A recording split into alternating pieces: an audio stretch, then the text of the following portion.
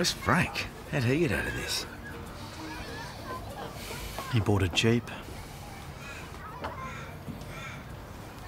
Mister, I think I'm gonna be sick.